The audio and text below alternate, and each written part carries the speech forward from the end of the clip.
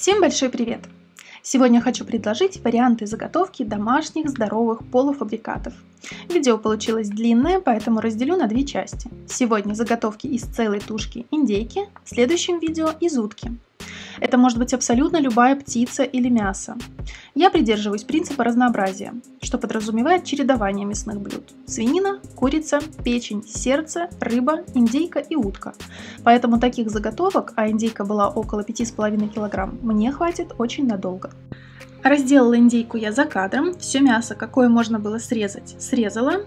Из остова и всех костей сразу ставлю вариться костный бульон. Тут подсказка со ссылкой на видео о костном бульоне, что это, зачем и почему, и главное, в чем его польза. В целом, с отвлечением на детей, на игры, я делала эти заготовки в течение всего дня, и все это время бульон варился. Процеживаю и разливаю по тарам разного размера. Это удобно для приготовления разных блюд. Большие для супов, маленькие для каш или подливы. Храню в морозилке. Также с остовов сняла вот такое внушительное количество мяса. Оно пойдет в супчик. Его тоже в мороз до надобности. И первая порция индейки готова. Тут вся мякоть, какую удалось снять. Выбираю самую красивую ровную грудку, снимаю шкурку, удаляю все пленки и из нее буду делать сушеное мясо или вяленое, или балык, или вообще все равно, как оно там называется, главное, что вкусно и здорово. Этот рецепт тоже сделаю отдельным видео, чтобы проще было находить. А пока только засаливаю в огромном количестве соли и выбираю мариноваться. Вторая порция индейки ушла готовиться. Третью порцию делаю из всего, что не снимается с костей. Тут оба крыла, остатки от двух ног и часть хребта с хвостиком. Они в соевом соусе с чесноком и медом и будут запекаться в духовке. В принципе, тоже можно заморозить, но я приготовлю сразу. Ну и перехожу к работе с мякотью. Все, что осталось, нарезаю полосками для мясорубки а часть грудинки нарезаю на такие продолговатые полосочки. Из них сделаю что-то вроде наггетсов. Но канал у меня о здоровом питании, поэтому, конечно, никаких непонятных обсыпок и жарки во фритюре. Прямо в тарелке солю, перчу, добавляю куркуму и сушеный чеснок. Хорошенько втираю специи. Далее тоже прям так посыпаю мукой. А, для цели обсыпки беру обычно нутовую или чечевичную. Выпечки они мне абсолютно не нравятся, но они довольно полезные, особенно по сравнению с пшеничной мукой. Вот нашла такое им применение. Их, кстати, можно сделать дома самостоятельно в кофемолке из злаков. Далее вливаю яйцо, ну, конечно, нужно в нем обмакивать, но у меня такой ленивый мамский вариант. И далее снова обваливаю в муке. Можно, кстати, в дробленой овсянке, например, или в домашних сухарях измельченных. Это была уже четвертая индейчная порция. Возвращаюсь к мякоти. Все, что осталось, а это часть грудинки и два бедра, измельчаю в фарш. Фарша в моем случае будет два, второй из утки.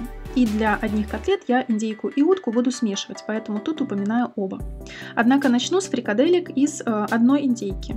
Пару-тройку больших ложек откладываю отдельно, лук, чеснок, соль, перец, специи и немного муки. И формирую маленькие фрикадельки. Подойдут и для супа, и просто в подливе потушить. И индейка, и утка – мясо не дешевое, но все же я предпочитаю в меню иметь все возможные виды белка, витаминов и минералов в нем. Каждый вид мяса имеет уникальный состав по незаменимым аминокислотам, усваивается по-разному, несет в организм разное соотношение витаминов и минералов. Поэтому здоровье дороже. Доску застилаю пакетом, чтобы заготовки не примерзли, и в этом же пакете потом храню.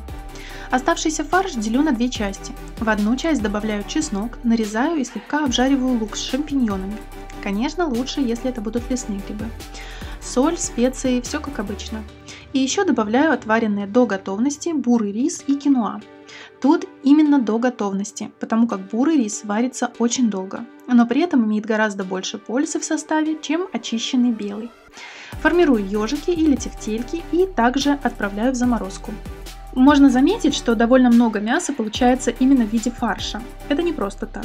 В измельченном виде организму гораздо проще усваивать белок. Поэтому фарш, рубленое мясо, а также еще и хорошо промаринованное мясо – большие помощники организму в расщеплении и усвоении белка.